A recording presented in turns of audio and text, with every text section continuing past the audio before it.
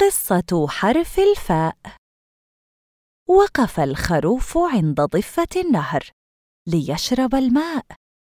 فجذبته فراشة صفراء ترفرف في الفضاء. وعندما نظر إليها سقط في الماء.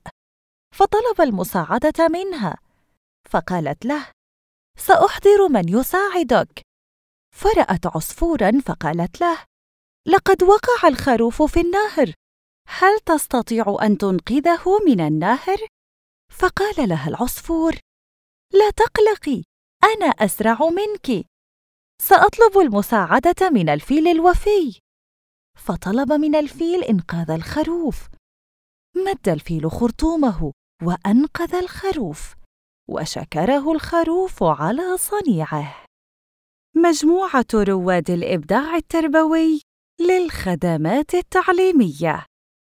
رواد التميز والإبداع.